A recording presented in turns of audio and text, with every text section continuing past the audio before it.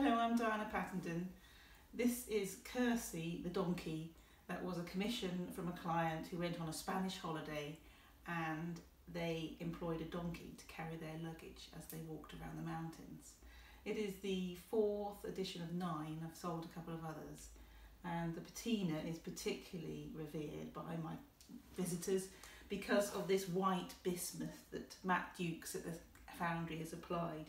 So it picks up very distinct markings, and I'm very proud to be a client of Talos, and I'm excited to have this piece on film for you. Thank you.